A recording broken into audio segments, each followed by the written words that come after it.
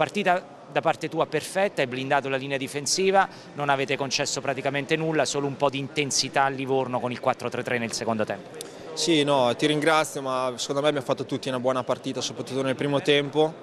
E secondo tempo abbiamo sofferto un pochino, abbiamo lasciato un po' di campo, ma abbiamo, lasciato, abbiamo tenuto bene il campo, siamo riusciti a chiudere senza subire gol. E ci voleva, dai, ci voleva dopo cinque partite, ci voleva questa vittoria. Mirko, ogni volta che sei stato chiamato in causa da eh, Zauri hai fatto delle partite ben oltre la sufficienza. Ti candidi per questa maglia titolare senza volerla lasciare più?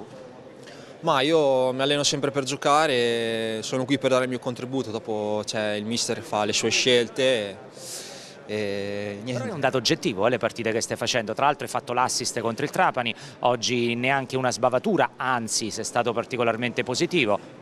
No, no, ma sono abbastanza contento, dai, è chiaro che quando giochi con continuità è anche più facile. Mi vorresti dire di sì, ma non lo vuoi dire. bravo, bravo. Va bene, abbiamo capito. Allora ti chiedo un'altra cosa, ti chiedo. Manuel Marras, Pescara lo conosciamo molto bene, rapidissimo e quest'anno aveva trovato anche quattro volte il gol. È stato l'unico che vi ha messo un po' in difficoltà?